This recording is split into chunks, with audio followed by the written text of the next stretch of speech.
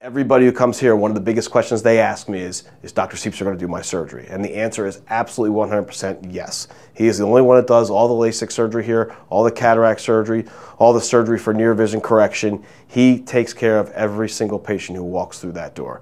And then we have our staff who is awesome. Most of our staff have been with us for five years or more, if not more. As a matter of fact, my lead technician, Meg uh, has been here, is the only person who's been here longer than me. She's been here 12 years. So Meg, Dr. Siepser, and myself have been working together for the past 11 years to make sure everybody has a great experience.